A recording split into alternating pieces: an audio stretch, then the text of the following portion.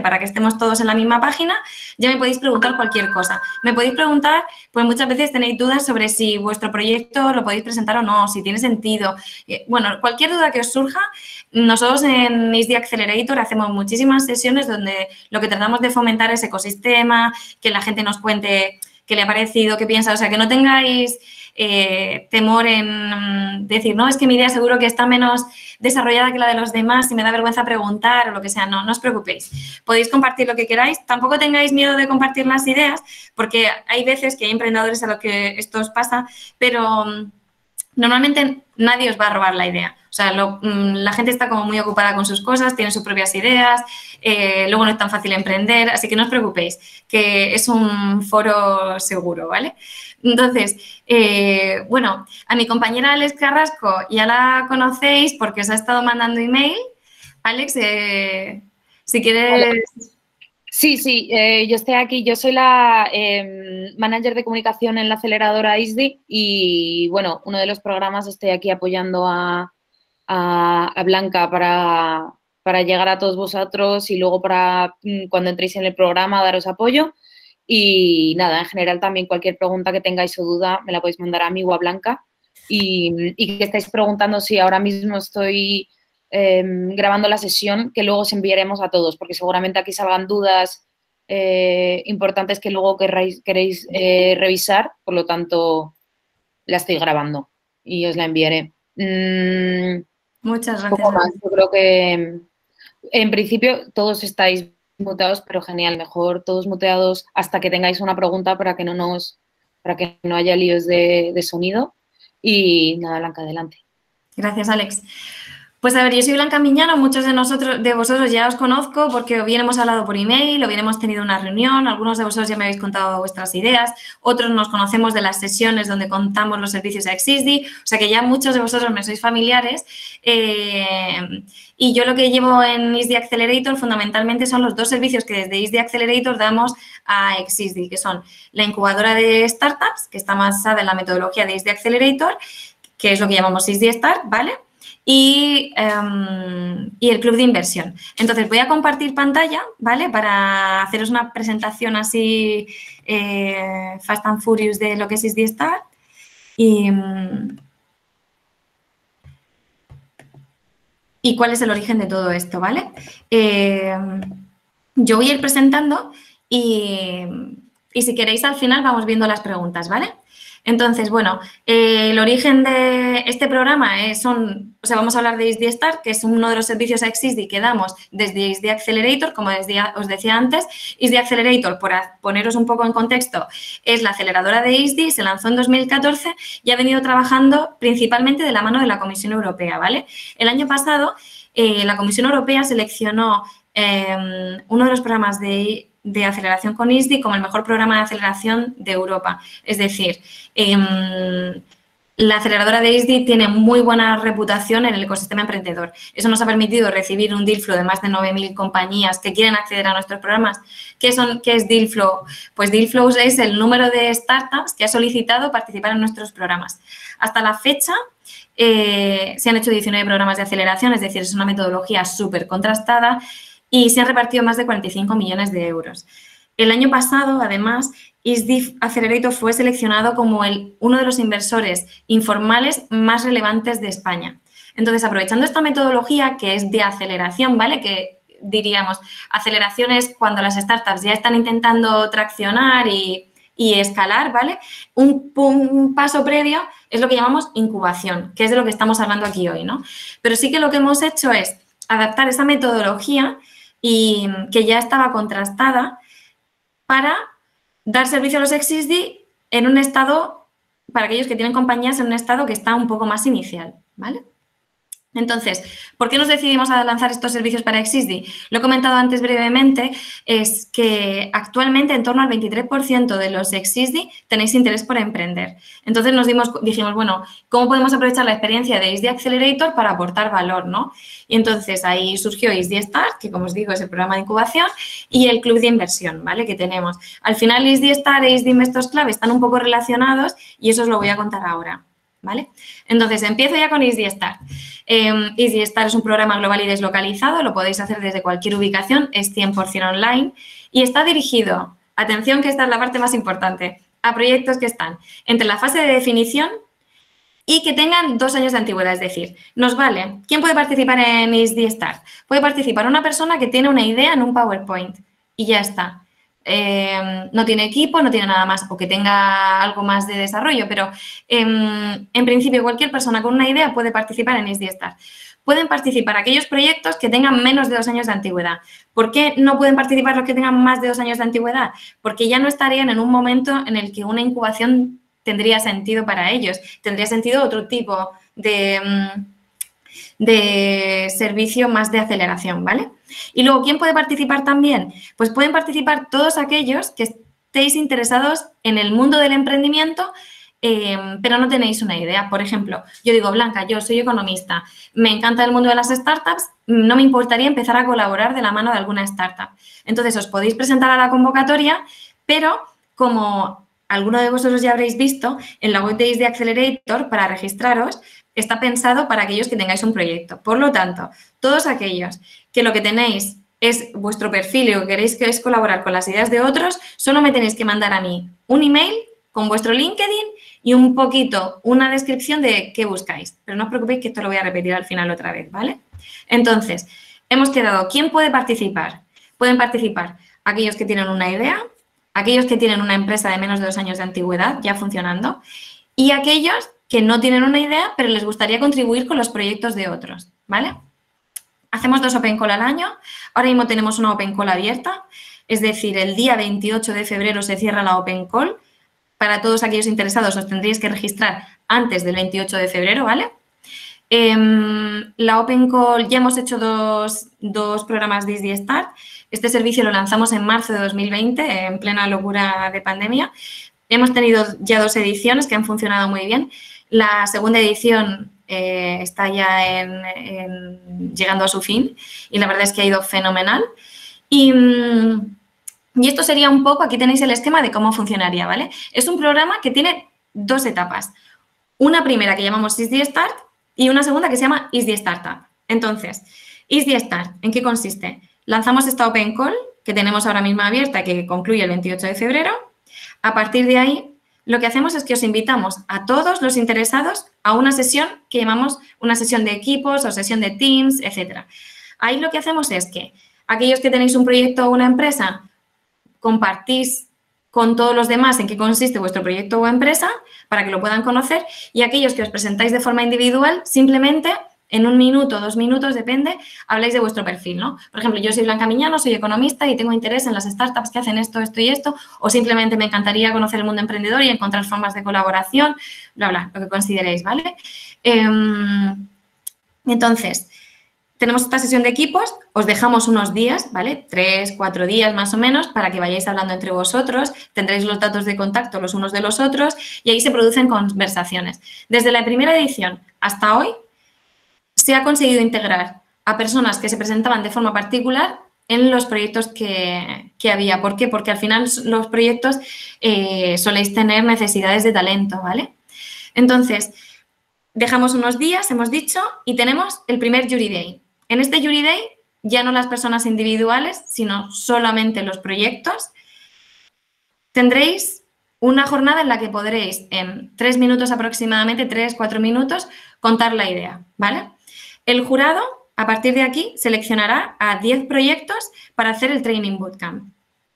El Training Bootcamp, ¿en qué consiste? Son dos semanas de trabajo en vuestro proyecto. Es decir, aproximadamente de 6 a 9 de la tarde, más o menos ese es el horario, el horario en el que lo hacemos, para que sea compatible con otras actividades, lo que hacemos es daros dos semanas de formación y es formación entre comillas porque vosotros ya sois alumnos de ISDI, es decir, vosotros ya conocéis la metodología, conocéis la teoría perfectamente. Aquí lo que queremos hacer es que trabajéis en vuestros proyectos y esto, este Training Bootcamp os permita, de la mano de un PO, eh, darle un empujón a vuestro proyecto para llevarlo a otro nivel, ¿vale? Entonces, este Training Bootcamp tiene 30 minutos de repaso de teoría, súper rápidos todos los días, y después dos horas y media en las que vais a trabajar todo el equipo Es decir, no solamente aquellos miembros del proyecto que son Exisdi, sino todos los miembros del proyecto vais a poder estar trabajando de la mano de un PO. Compartís un PO por cada dos grupos, es decir, eh, cada día se deciden unos entregables. Por ejemplo, business plan. Para aquellos que ya tenéis un business plan, fantástico. Os permitirá ir repasándolo con el PO y el PO dirá, vale, pues esto está bien, esto darle una vueltecilla, genial. Se irá a otra sala, trabajará con otro grupo y lo iréis compartiendo, ¿vale? Entonces vosotros tendréis sesiones de trabajo donde un PO estará supervisando vuestra evolución. En el Training Bootcamp vamos a revisar cuestiones como eh, el business model, el go-to-market, la tecnología para el MVP, vamos a revisar cuestiones como mm, el pitch final, vamos a, trabajar el producto. Entonces, cada día tendrá una temática distinta y robusteceréis esa parte de vuestro proyecto. En algunos casos, vosotros eso lo tendréis más adelantado y en otros menos, ¿no? Entonces, cuando termina el Training Bootcamp, que como he dicho son dos semanas de formación, el Training Bootcamp concluye con un Demo Day. Es decir, vosotros termináis un jueves o un viernes y el martes siguiente tenéis un demo day donde delante de aquel jurado que visteis que os seleccionó para el Training Bootcamp, volveréis a presentar vuestra idea dos semanas más tarde.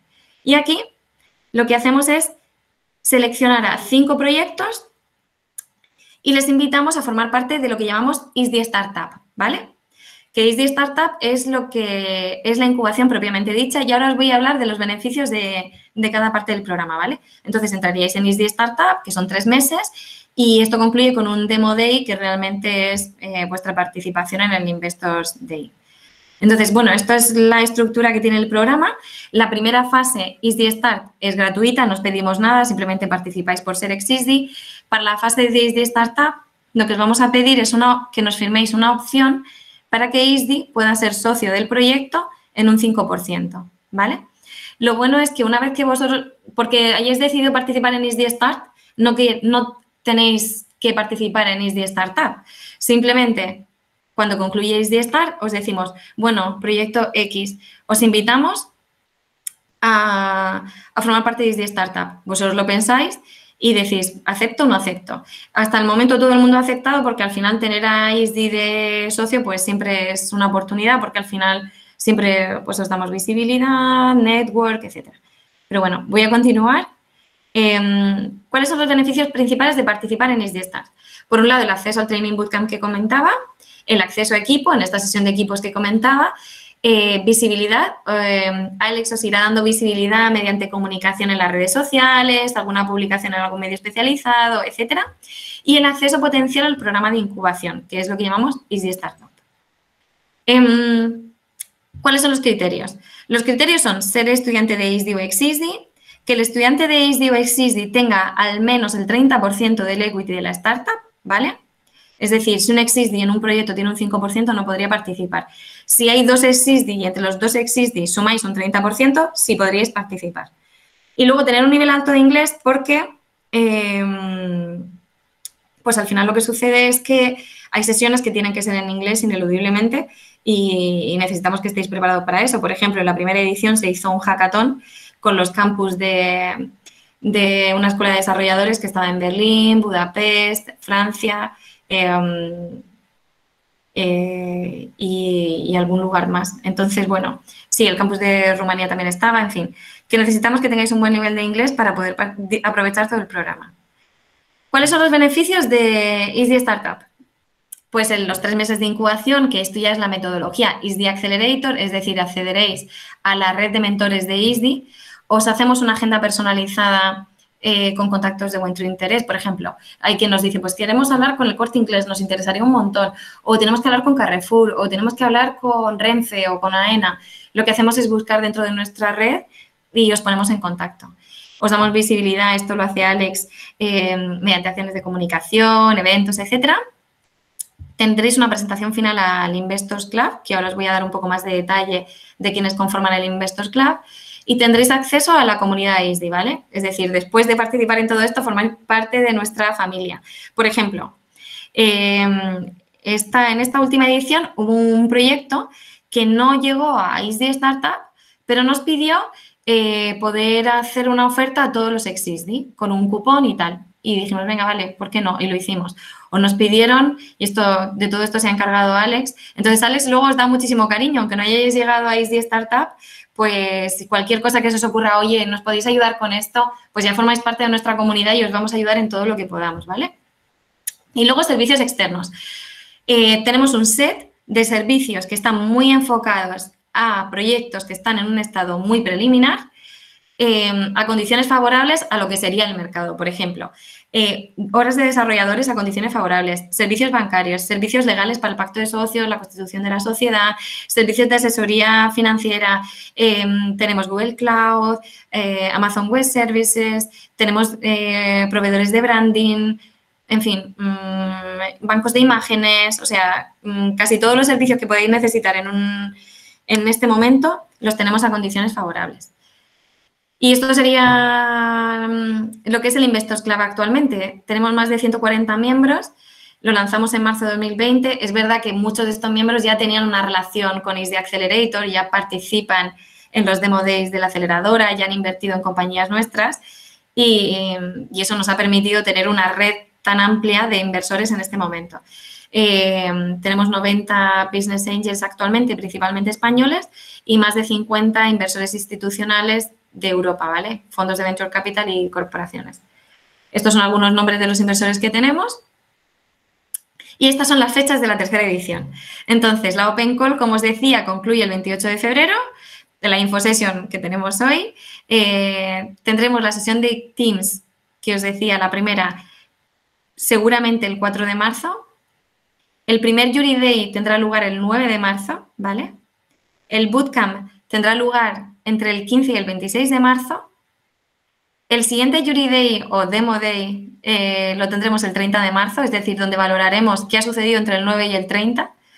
Y, y a partir de aquí ya procedemos a las invitaciones a formar parte de Easy Startup. Empezamos a preparar la primera semana de abril a buscar los mentores y a poner todo esto en marcha. Os damos los contactos para los servicios y tal. Y de abril a junio tendría lugar la incubación y el 6 de julio aproximadamente, ¿vale? Tendrá lugar el Demo Day. Estas fechas son aproximadas, o sea, puede ser que a lo mejor el... Vamos a intentar que sea 4, 9 y 30, pero puede que alguna fecha se nos mueva y el 6 de julio. Entonces, eh, de todo lo que hacemos en de Accelerator, la mejor forma de estar actualizado, porque sé que algunos de vosotros pues decís, mira, es que a mí no me interesa esta convocatoria, me interesa la siguiente, la de septiembre, porque en septiembre seguramente lanzaremos otra, o lo que consideréis. Entonces es a través de nuestras redes sociales. Y ahora ya sí, eh, todos aquellos que tengáis dudas, eh, me podéis preguntar lo que queráis. Y a Alex también. Yo voy a empezar, antes de nada que tengo un... Perdón, Antonio, un segundito solo, que había algunas preguntas en el chat eh, que así las respondo rápido. Em, bueno, voy a empezar con las fáciles, que acabas de responderlo. ¿Cuándo sería la, siguiente Open Call? hemos dicho que alrededor de septiembre, ¿vale? Eso queda claro. El programa de momento es 100% online, por razones obvias. Em, es verdad que en, en, la medida de lo posible, si se pudiese hacer alguna parte presencial, pues lo intentaríamos. Normalmente eh, nuestro histórico es hacer los bootcamp presenciales, pero porque creemos que se puede sacar mucha chicha, pero es verdad que desde marzo em, ya movimos absolutamente todo nuestro mecanismo online. Tampoco nos ha costado mucho porque desde el 2014 que llevamos haciendo procesos de aceleración siempre hemos tenido programas deslocalizados, así que es, un, es una manera normal que tenemos de trabajar que es todo online. Eh, también nos preguntaban si es compatible con el MIT 12 de Barcelona a nivel horarios. En principio y sobre todo el tema del, bootcamp, que yo creo que es lo que más tiempo puede que os que, tengáis que usar. Em, tenemos en cuenta los, los másteres y que son tarde, entonces suelen ser eh, ahora ya, bueno, Blanca, corrígeme, es que no sé, estoy, no sé si, si están establecidas las horas o no, pero dependiendo de quiénes sean los que entren a la, parte de bootcamp. Las horas más o menos están previstas, o sea, son como de 6 a 9, nosotros tenemos que coordinarnos con los POs y tal, entonces al final más o menos de 6 a 9. Eh, puede ser, ha habido sesiones que las hemos tenido que mover, las hemos empezado a las 5 y media, al final hay mucha gente aquí coordinada y, en principio mm, de 6 a 9. Eh, os digo, hemos tenido sesiones que han sido de 5 a 8. Depende. Mm, Blanca, me preguntan si se pueden, que esto eh, lo puedes contestar tú, se pueden presentar varias ideas y luego también si puedes hablar un poco de las startups que, han pasado ya por, nuestros programas. Vale, pues a ver, varias ideas. Mm, al día de Teams, si queréis presentar varias ideas para ver si, si cuál de ellas tiene más éxito y quién se nos puede unir, nosotros no vamos a restringir esta sesión, porque al final esta sesión se trata de construir entre todos, ¿no? Entonces, si hay alguien que dice, tengo dos ideas, pero tampoco sé cómo las vais a ver, ni cuál puede ser más atractiva, que se me una equipo o tal, bueno, pues en la sesión de Teams no pasa nada. Si quieres, construye una presentación donde hables de, de ambas cosas y tal. Desde luego, para el Jury Day, no te lo recomiendo. O sea, para el Jury Day ya tendrías que haber desempatado y decidirte por una de ellas, en función a lo mejor del feedback que hayas recibido en la sesión de Teams o lo que sea. ¿vale? Porque al final el jurado, si no puede ser que... Mm, que no... Que no centrado. Sí, puede ser. Entonces, bueno, yo te recomendaría que si quieres para la sesión de Teams, si te cuesta mucho decidirte, a lo mejor teniendo dos o tres conversaciones antes de este día, te vale para desequilibrar la balanza. Pero si no es así, eh, presenta las dos ideas, pero sí que para el Jury Day yo te recomendaría que fueras con una. El Jury Day es un día que nos tomamos súper en serio, es decir, eh, normalmente el jurado lo forman Nacho de Pinedo, eh, alguna otra persona de ISDI y algún inversor de fuera. Siempre solemos invitar a Kibo Ventures porque son un partner muy de ISDI y ya nos va acompañando durante todo el proceso, ¿no? Y es verdad que eh, se os... Esto nos en Easy Start para nosotros no es un proyecto de fin de máster ni nada similar. O sea, aquí es, esto tiene encaje en el mercado, tiene sentido, tiene, eh, se puede escalar la idea, el equipo parece robusto. O sea, aquí nos lo tomamos en serio y valoramos si esto en algún momento puede ser una compañía o no, ¿vale? Y solo una cosa, eh, que es verdad que, que, en el roadmap he puesto todo el rato preselección y selección, ahí es donde se está refiriendo Blanca al Jury Day, que hay como dos Jury Day, ¿no? Hasta cierto punto. La primera fase en la que elegimos, sí, solo para que lo tengáis claro a nivel lo que hemos escrito. Sí. Sí, tendríamos el día 4 la sesión de equipos. Aquí todo el mundo es bienvenido, compartimos todo, los perfiles individuales, los proyectos, lo que queráis. Os damos unos días. Termináis de centrar el tiro, construir el pitch para el día 9, termináis de meter equipo, bien que haya participado en la jornada. Nos pasa mucho que hay gente que, llega el día de Teams y, y ya que se pone a ver perfiles, pues entonces de repente se acuerda de un compañero del máster, se acuerda de un compañero que tuvo de no sé qué y empezáis a integrar equipo que nosotros nos hemos presentado, pero empezáis a robustecerlo. Pues genial. El día 9 tiene lugar ese primer Jury Day, se selecciona 10 grupos para el Training Bootcamp y el día 30 analizamos cuál ha sido esa evolución y se seleccionan 5.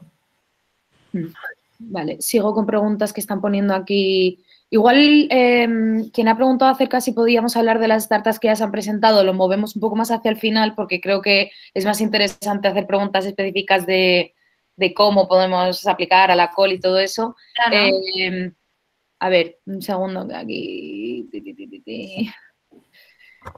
De momento, ¿cuándo sería la siguiente prueba en septiembre? Gracias. El MI presencial. Si el MIB es presencial, no hay forma de pasarla presencial. Puede ser más interesante a nivel networking. Sí, ojalá, pero es que yo vivo en Galicia y nuestros compañeros también. Estamos todos deslocalizados y de momento es verdad que la aceleradora vamos un poco a nuestro rollo, que somos por supuesto parte de ISDI, somos una entidad un poquito más apartada y, y bueno, yo creo que os daréis cuenta a nivel, yo creo que Em, expectativas y es importante lo que dice Blanca, esto no es un proyecto de final de carrera, esto es algo que tenéis que currar vosotros, es vuestra startup y nosotros estamos dando apoyo a nivel partner, socio, como tendríais eh, con cualquier otra entidad que se pudiera asociar con vosotros. A ver, em, de momento no está planteado que esto lo hagamos presencial. Es verdad que en su momento se planteó que el Training Bootcamp pudiera ser presencial, pero como luego pasó todo esto y ahora mismo, y porque está funcionando muy bien, eh, vamos a seguir con formato online.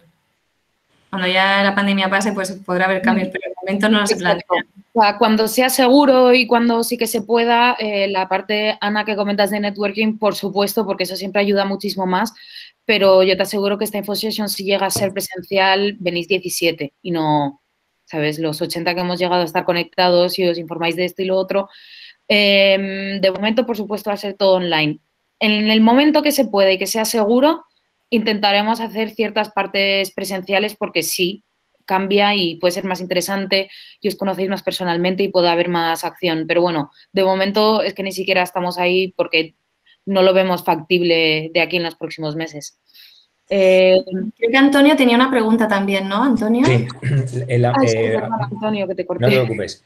Eh, perdonad mi ignorancia, a lo mejor es de perogrullo la pregunta, pero desde el punto de vista que habéis dicho de los mínimos de equity, se entiende que ese porcentaje es eh, la aportación económica del total del capital inicial, entiendo.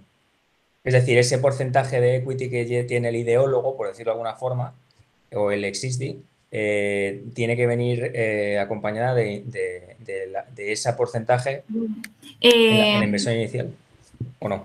Antonio, a ver, por un lado está el porcentaje mínimo que tiene que tener el Existi, ¿vale? Que tiene que ser superior al 30%. No solamente un Existi, sino todos los miembros del, del grupo, del proyecto, de la startup, que sean Existi, han de sumar al menos un 30%, ¿vale? Y ellos, en esa sociedad que han creado, por ejemplo, tú, Antonio, tienes una sociedad con tres antiguos compañeros de trabajo.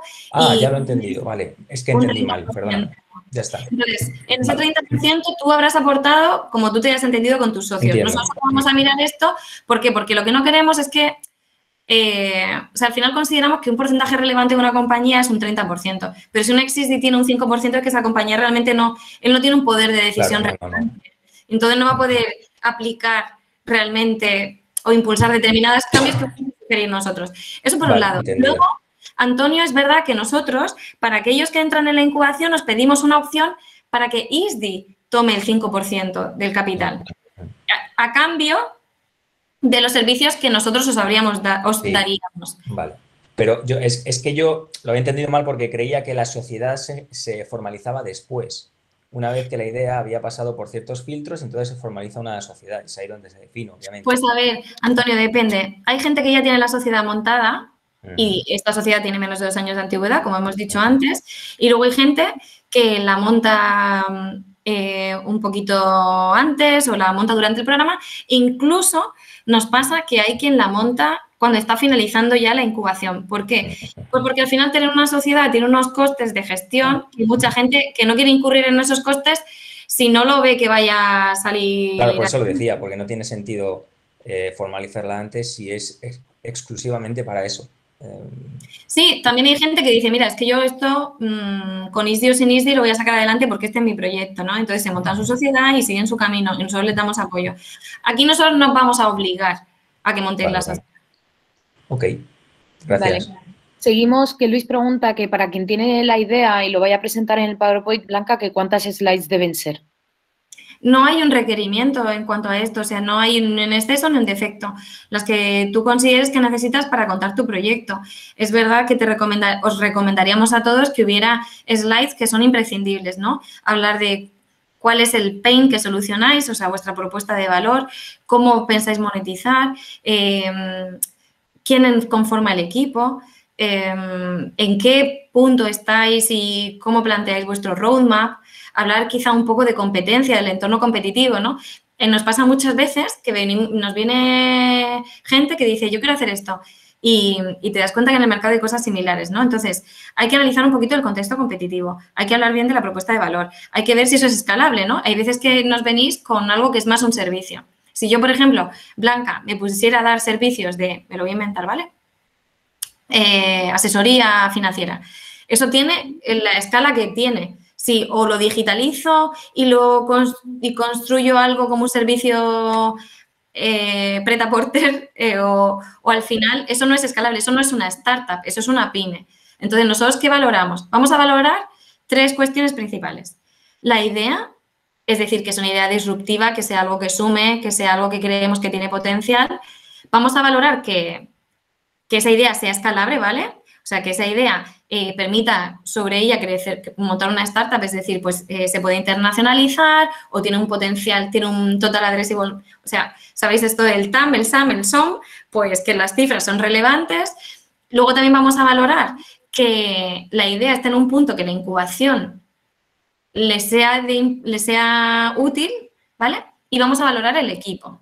Entonces, me vais a decir, Blanca, pero ¿y si no tengo equipo? No pasa nada. En la primera edición tuvimos un grupo que era solo uno, pero es que era uno que podría haber sacado adelante lo que se hubiera echado encima porque era hipertractor. Hay veces que ves gente que dice, bueno, es que lo que tenga que hacer lo va a hacer. Entonces, bueno, no os preocupéis si sois uno o dos o tres o seis, que también hemos tenido seis, y hemos tenido grupos de seis que traccionaban genial y como un reloj. O sea que no os preocupéis por esto. Luego leo la pregunta, ¿cómo nos apuntamos a la Open Call? Bueno, está en la página web del email que recibisteis. Em, después de cuando reciba eh, la grabación de este vídeo, os volveré a poner el link para, hacer la solicitud. Em, en las redes sociales lo estoy poniendo continuamente. Em, ahora os lo pondré otra vez en el chat para que lo tengáis eh, a mano pero vamos, no es, muy difícil encontrarlo, pero os lo, volveré a mandar de todas las maneras posibles. Luego, Patricia nos pregunta, mencionabas que los participantes son grupos, eh, son 10 grupos de cuatro personas. Bueno, lo ponemos ahí como orientación, pero es lo que os decía, hemos tenido de todo, desde uno hasta seis. Entonces, aquí, eh, que eso nos limite. Sí, eh, esto se refiere a lo de los 10 grupos para el bootcamp, supongo, ¿no? Que es más o menos hasta ahora lo que hemos estado, lo que hemos estado. Sí, pero bueno, como hemos tenido grupos de dos, de uno, hemos tenido pues a uno trabajando solo con el PO, eh, hemos tenido grupos de seis, de tres, eh, un poco de todo. O sea que no os preocupéis, esto, si el proyecto tiene potencial, pues. Sí. Luego, José Javier, igual te pido que me rehagas la pregunta que pone, ¿Qué gauchas que presentar en concreto para el 28? Eh, supongo que tú, bueno, tu pregunta es que antes del 28, que es cuando cerramos la convocatoria, un PPT con la línea hacia algo más. Bueno, esto creo que ya lo ha dicho Blanca, creo que ha quedado claro ya. Eh, pero sí, tenéis para. Si pone aquí que info, pues a ver, vais a lo que tenéis en el formulario son unas cuantas preguntas. Tampoco hace falta que, eh, que, bueno, poned lo que consideréis en cada punto. No hace falta que os extendáis demasiado. Y luego tendréis que hacer upload de un documento que será vuestro pitch, que no tiene que ser el que uséis después, no tiene que ser el que uséis el día 4, ni tiene que ser el que uséis el día 9, ni por supuesto tiene que ser el que uséis el día 30.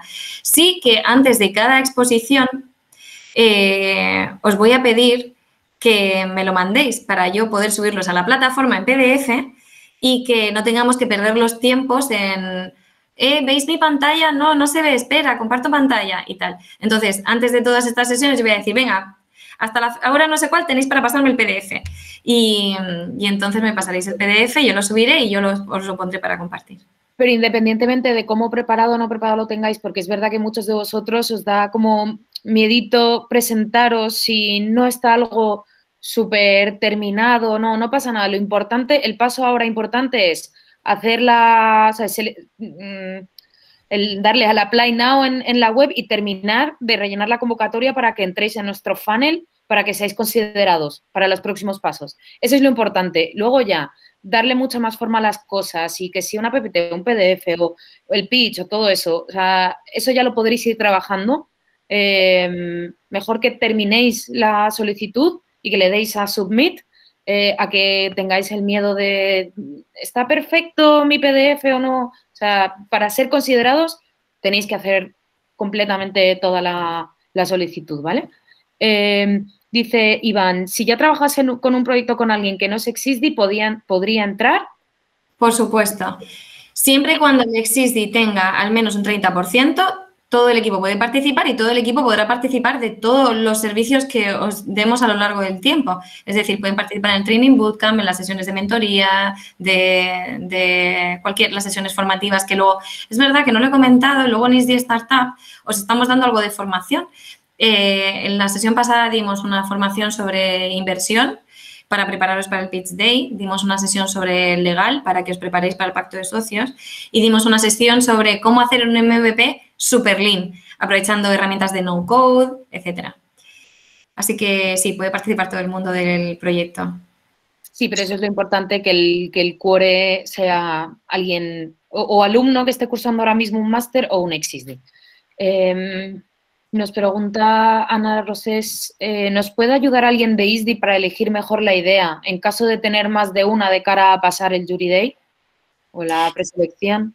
Vale, pues Ana, si quieres, mándame un email, te voy a dejar, os dejo a todos mi email aquí, ¿vale? Eh, pero al final, eh, sois vosotros quienes tenéis que elegir. Yo, yo, no os puedo filtrar los proyectos porque yo tampoco soy un gurú de nada, ¿no? A lo mejor llega yo os puedo dar un poco mi opinión, en función de mi conocimiento sobre el mercado os puedo decir, oye, pues mira, de esto ya hay esto. Pero lo interesante ahí es que vosotros investiguéis em, qué potencial tiene vuestra idea. Mm, es decir, quiero montar no sé qué, bueno, pues cuántas propuestas similares hay en el mercado. Esto realmente de cuántas personas estamos hablando que realmente necesiten este servicio o este producto. Eh, ¿Cómo se está cubriendo esto actualmente? Etcétera, ¿vale? Mm, luego tenemos, em, bueno, las, vuelvo a decir porque igual también no queda claro, pero bueno, luego, ¿qué contenido debe tener la presentación del PPT para presentar la idea el 9 de marzo, que es en la preselección después del Teams Session? Sí, el contenido siempre va a ser libre. Vosotros en vuestro pitch siempre vais a poder poner lo que queráis. Sí que lo hablaremos en la sesión de Teams, hablaremos del contenido de esta presentación, ¿vale? Entonces eso permitirá prepararlo muchísimo mejor, pero em, básicamente lo que os decía, imprescindible, qué pain solucionas, cuál es tu modelo de negocio, cómo, monetizas y tal, eh, cuál es tu roadmap, tu go-to-market, el entorno competitivo, el equipo, ¿vale? Luego, Rafael, aunque lo hemos contestado, pero por, incidir, tengo una idea con un socio que no es y podemos presentarnos juntos, por supuesto. Em, ¿Qué tanto detalle hay que presentar del negocio en la Team Session? Pues yo creo que lo máximo posible, pero como dice Blanca, lo vais a trabajar ahí también porque aparte de ayudaros a robustecer equipo, eh, va a haber tips eh, importantes que yo creo que podréis eh, adaptar vuestras presentaciones para poder hacer la mejor presentación posible el día 9. Sí. Em, además, sí, lo iremos trabajando la, la presentación del, día 9, o sea que sí, sí. Mm, perfecto. Bueno, si veo que alguna pregunta se repite mm, por tercera vez. Em, sí, pasamos al siguiente. Em, si, algo por lo que sea no queda claro, os desmuteáis y me decís, Alex, no me queda nada claro, por favor explícalo otra vez, ¿vale? Mm. Gonzalo dice, buenas, empieza el MIB Online el 15 de marzo. ¿Es viable intentar meterse en la incubadora? Sí, eh, es viable, lo recomendamos, quiero decir, al final es, o sea, la aceleradora no es el máster, es vuestro negocio, eh, tendrás que valorar el tiempo que tienes, eh, lo involucrado o no que puedas estar en, en, el negocio que quieres sacar adelante. Esto, a ver, depende un poco de vosotros y de las ganas que queréis darle. Es verdad que Blanca seguramente os lo va a decir y en todas las sesiones que tengáis, o, estáis en esto para darle el 100% o no vale la pena. Porque... De para Easy Startup eh, sí que os pedimos una persona al 100%. Es decir, para entrar en Easy Startup es imprescindible una persona al 100%. Y os puedo decir que en esta última edición hemos tenido un grupo que era muy bueno, el proyecto, eh, el equipo lo conformaba un equipo muy senior pero al final es que como no le han dedicado tiempo, no lo han, no lo han aprovechado. Y es que yo creo que a todos en la vida nos ha pasado esto alguna vez.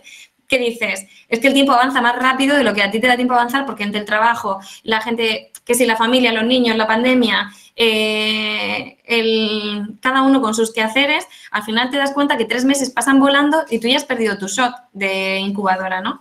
Entonces, nosotros hemos tenido un proyecto muy bueno que ahora mismo, pues, Mm, está como un poco a la cola de todo. Sin embargo, tenemos un proyecto que tenía, eran seis, pero tenían a dos personas al 100%. Y claro, es que eso es una maravilla. O sea, han aprovechado todo, han pivotado, cambiado, robustecido, además cogieron el feedback del jurado y desde el primer momento lo interiorizaron y marcaron ahí su norte y les está yendo muy bien. Están teniendo reuniones con inversores y tal. Pero claro, si vais a estar 1 al 100%, 5 al 25%. Y esto mm, no tiene sentido.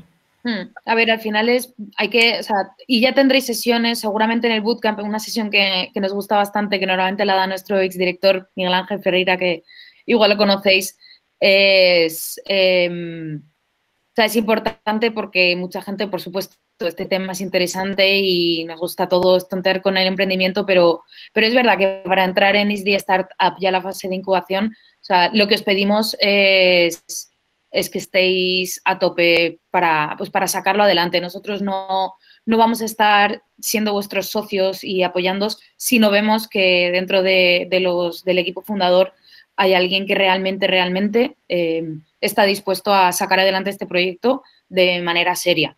Eh, entonces, esa parte sí que será importante y la reiteraremos varias veces. Em, que el nivel de involucración por, vuestra parte eh, tiene que ser prácticamente total. Y si no, alguien de vuestro equipo que también tenga importancia o calidad de jugador. Ana pone, una persona al 100% es solo en la incubación, ¿no? Sí, una persona al 100% es un requisito imprescindible para la incubación. sí. antes es deseable, pero no es imprescindible. O sea, podéis entrar al Training Bootcamp, eh, en lo que os decidís y tal. Hay gente que es a raíz del Training Bootcamp cuando encuentra la manera, ¿no? De estar al 100%.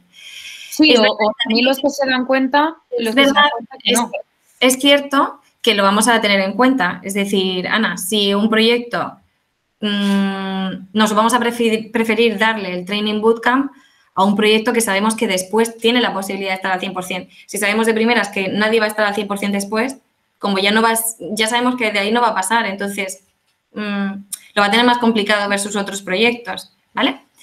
luego, eh, ¿Hay alguna pregunta más por aquí? Sí, a ver, ponen, seguro que lo hablaban antes, ¿qué nivel de aportación han recibido los proyectos calificados? No sé si te refieres a aportación a nivel monetario, eh, no, no damos dinero, pero bueno, a, través de nuestros servicios se, se puede... Sí, nosotros no invertimos en los proyectos, solamente invertimos en forma de los servicios que os damos. Pero los inversores, como os decía, sí que os hacemos esta presentación final y los inversores pueden invertir. De momento, la segunda edición está en conversaciones. Vale, sí, perfecto, los inversores se refería. de momento, es que el evento último tuvo lugar el martes, entonces están ahí en conversaciones.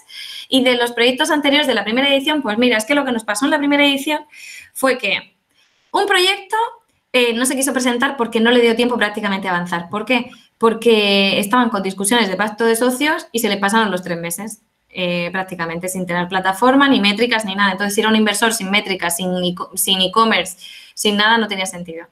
Otro proyecto, la crisis, la pandemia, los bares cerrados, se cargó el proyecto.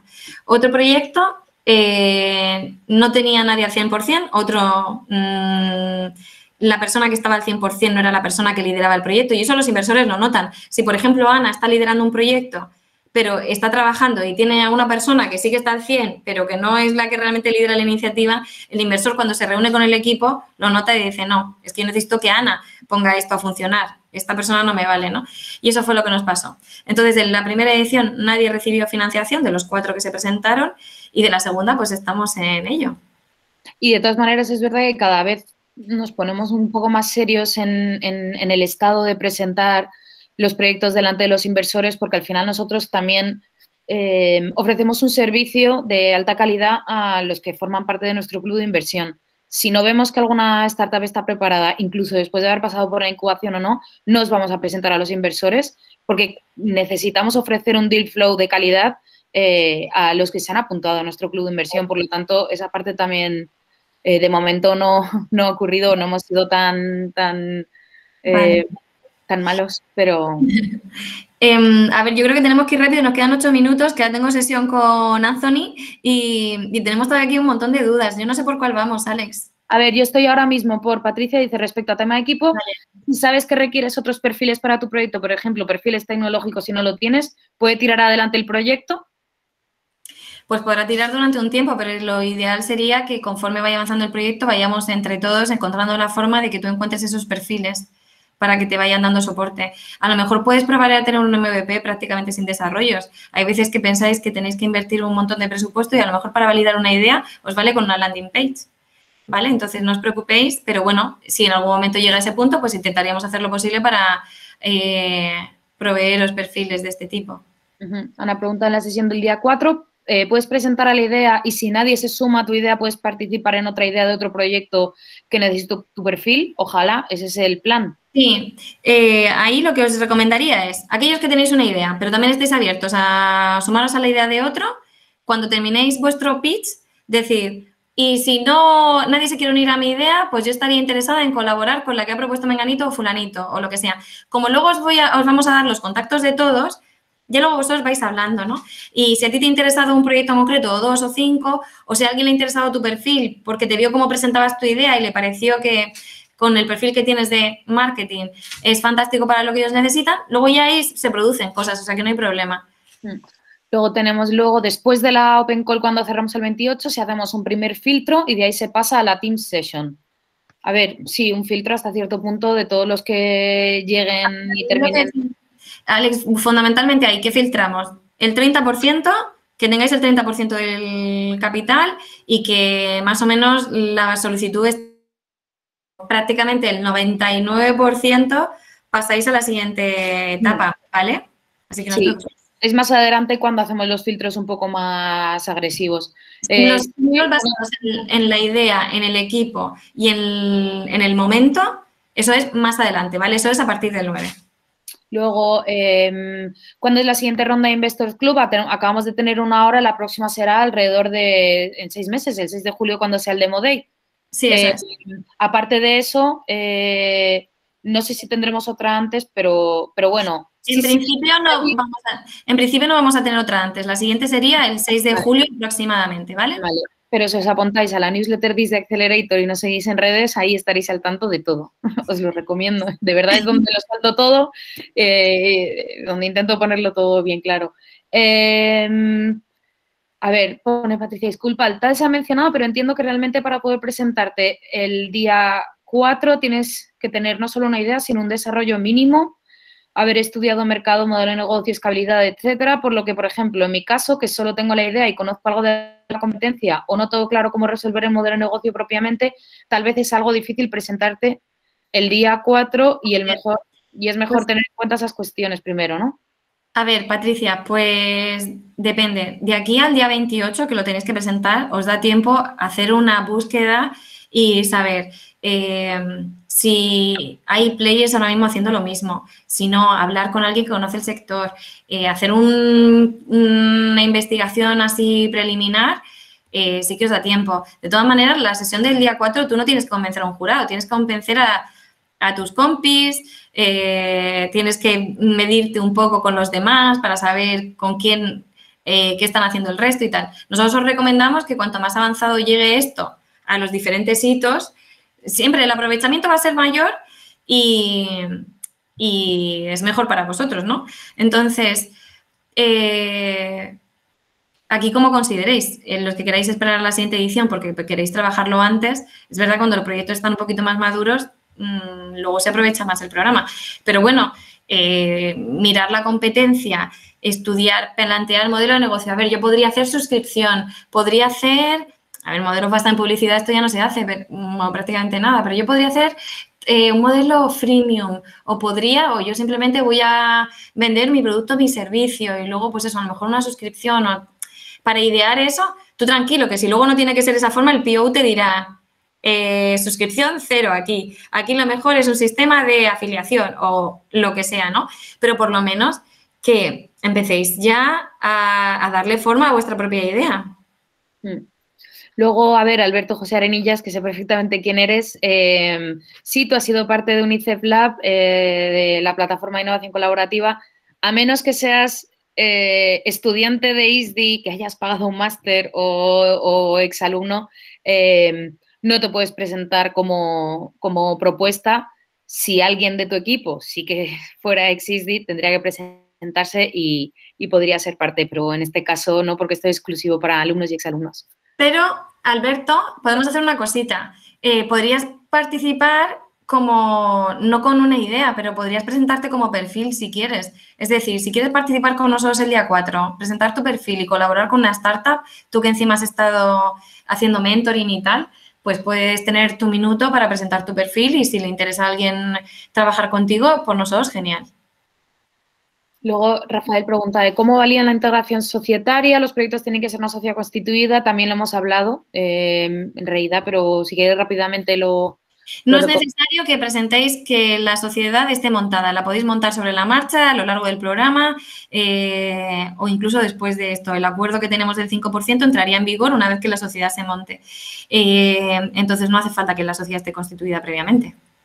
Y Ana pregunta, ¿cuándo daréis la formación sobre cómo crear un MVP super lean?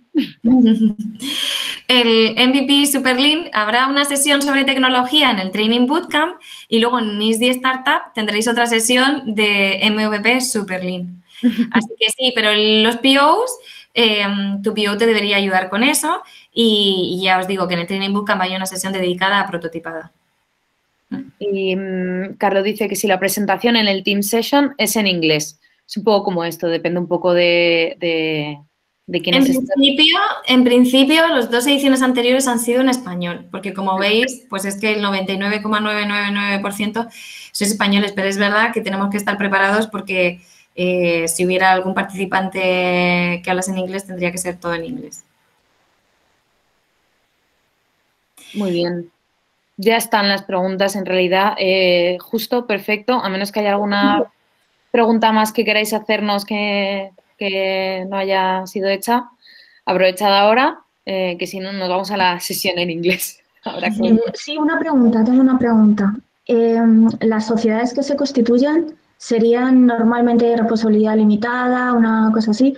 ¿Se podría constituir también una fundación Claro, la forma que vosotros decidáis, es decir, el que como, como si queréis montar una cooperativa, o sea, lo que vosotros consideréis que es lo ideal para el proyecto, por supuesto, una fundación, fenomenal. Vale, y los requisitos los que los que se tengan que cumplir para cada forma. O sea, si es una fundación, una cooperativa, pues tantos socios, si es responsabilidad limitada a 3.000 euros, cosas así, ¿no? Ok. Sí. Vale, gracias. La verdad es que no hemos tenido de momento una fundación, es algo interesante, o sea que nos nosotros encantados. Sí. Vale, sí. Bueno, pues a ver el día, el día 4. Sí. A ver, el día 4 no os lo toméis como una sesión, eh, es una sesión de construir entre todos, compartir. Eh, la última vez, bueno, no, la primera vez Hubo dos proyectos para retail eh, con inteligencia artificial y tal, para entender los movimientos que había dentro de las tiendas y ser una herramienta para tiendas pequeñitas, les pudiera dar más información sobre su clientela y pudieran optimizar y tal. Pues había dos proyectos muy similares que se unieron y participaron juntos durante todo el Training Bootcamp. O sea que es que de ese día lo que se trata es de compartir eh, y que conozcáis a vuestros compañeros por si os interesan, conozcáis otros proyectos y crear. Aquí mm, realmente no se os va a juzgar. Cuando se os va a analizar un poco más en detalle ya será el día 9, ¿vale? Hmm. Y sí, que estáis mucho preguntando por el día 9, repito, lo más importante de momento es que vayáis al botón de Apply Now en, la web de Start, ahora os lo pongo aquí, ¿vale? Y que terminéis, porque ahí es donde vamos a valorar y a partir de ahí es donde os vamos a enviar emails con todo, porque no voy a estar enviando emails a toda la base de datos de ISDI continuamente acerca de esto, porque igual nos interesa o simplemente queréis en la próxima eh, Open Call. Así que es importante que a través de esa plataforma nos hagáis llegar vuestro interés por ISDI Start para ya crear una relación un poco más eh, normal en vez de email, más emailing. Eh, a ver, Alberto pregunta, la idea sobre la que quiero trabajar es un proyecto en el que una persona ya ha trabajado 20 años. Tenemos que constituir una sociedad porque hay que desarrollar el software que permitiría monetizar la idea. Es decir, la sociedad sería de este año. Fenomenal, sin problema. Mm. Muy bien. Ah, supongo que lo dices por el hecho de que no puede tener más de dos años de, ¿no? Pero eso no quiere decir que tú no puedas conocer el sector desde hace 20, 40 o 30, pues eso es muchísimo mejor, un equipo muchísimo mm, con un conocimiento experto del sector, fantástico. Mm. Sí, espera, os voy a poner aquí un segundo, tanto para que lo volváis a tener, aunque ahora mismo os voy a enviar, bueno, ahora mismo cuando pueda, igual mañana por la mañana, el email con la grabación más los links imprescindibles ahora, pero por si acaso os, un segundo, os paso los links para que los tengáis aquí. Eh, esta es la página de ISD Start de la Open Call con la información general de la Open Call, donde también está la guía del participante, las preguntas frecuentes, donde en realidad todo el tema que preguntas que tenéis de, la sociedad o años o el 100% de la, persona que tiene que estar 100% en realidad está todo en estos documentos, pero entiendo que, que queréis también preguntarlo. Y luego en este link es eh, la plataforma que usamos ISD Accelerator para, para todas nuestras startups cuando eh, solicitan entrar en cualquiera de nuestros programas. Pero esta es el hub de Easy, eh, donde debéis finalizar la, que no sé decirlo en español, la application. ya estamos todos igual. Bueno, pues oye, si no tenéis más dudas, muchísimas gracias por todo. Una última pregunta muy rápida, por favor. Sí, soy eh, soy Ana del MIB eh, de los fines de semana en Madrid eh, y me gustaría saber si queremos colaborar con un perfil em, para colaborar con una startup. veo que el 9 de marzo, el 4 de marzo tenemos, bueno, tenemos clases y demás. quiero saber si otras personas lo han hecho o lo veis un poco precipitado porque ya sabéis que el MIB nos absorbe muchísimo. Em, ¿Cómo lo veis? O sea, ¿lo recomendáis o esperamos pues a julio? Esto lo que ha comentado antes Alex, es como consideréis aquí cada uno, porque puede haber una persona que esté haciendo un máster pero no está trabajando. Y sí, pero, pero veo que coinciden clases, clases con... con... Sí, coinciden clases, eh, tendría que ser la siguiente edición porque hay que asistir. Venga, fenomenal, muchas gracias. Nada, vosotros.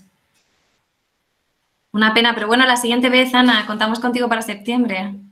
Muchas gracias. Nada. Bueno, chicos, eh, ¿alguna duda más o, estamos ya y nos vamos a ver a Anthony? Que el pobre Anthony dejo también, bueno, a ver, es que si tenéis mi email, pero por si acaso también os lo dejo por si tenéis cualquier eh, duda con el de Blanca. Otra vez os lo dejo aquí. Y, y nada, os iremos enviando emails con educación, sí. Eh, con fechas relevantes, links, etcétera, etcétera. Y bueno, ya sabéis, eh, nos podéis eh, enviar email si os vuelve a surgir alguna duda. Si vemos que no, recibimos muchísimas dudas o que algo no ha quedado claro, valoraremos hacer otra infosesión el martes que viene, ¿no, Blanca? Sí. en principio, mm, creo que no hace falta, al menos si ya estamos más o menos, pero vamos, si vemos que hay algo que no queda nada claro, pues nos juntamos otra vez, no pasa nada. Gracias a vosotros. Gracias, chicos. Muchas gracias. Buena tarde. Chao. Adiós, gracias. Gracias, chao. Alex, me voy a conectar con Anthony, ¿vale? Voy, a Voy te espero allí. Vale, pásame. Hasta luego. Alejandra. Sí. Una cosa, es que nada, que tenemos una amiga en común, Sara Ramos, que me da recuerdos para ti, simplemente eso. Ah, estas cosas. Eh, pero de que no será su primo, su hermano. No, no, no se lo he pasado y le, he mandado esto que está en la reunión, que justo antes no podía hablar cuando entró al principio. Y le, nada, le he dicho que, que, estaba, que estaba aquí en una reunión contigo. Ay, qué bien, pues dale un abrazo de mi parte a Sarita, a mi niña. Eso lo de tu parte. bueno, hasta luego. hasta luego. Adiós.